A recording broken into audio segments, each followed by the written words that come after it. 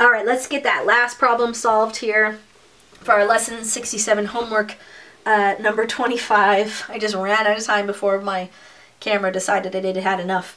Uh, the first thing I want to figure out is how many items are there in this bag. So I was told that there are 24 students and each student is going to choose three items. So the total number of items in the bag is 24 times 3. Okay, you can do that on a calculator or you can do it in your head. And we should find out that there are 72 total prizes. And if I know how many chances, how, what's the probability that the first student will choose a graphing calculator on his or her first draw? So there's 72 in there to begin with, and that's, that's what we're working with. And it says there are four graphing calculators. So this student has a 4 in 72 chance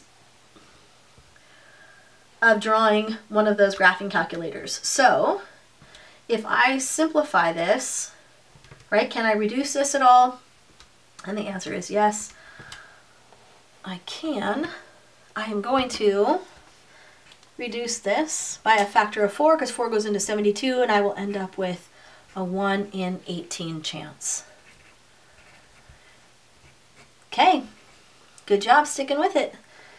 Uh, your probability is 1 in 18 if you were in this lucky classroom of winning a graphing calculator.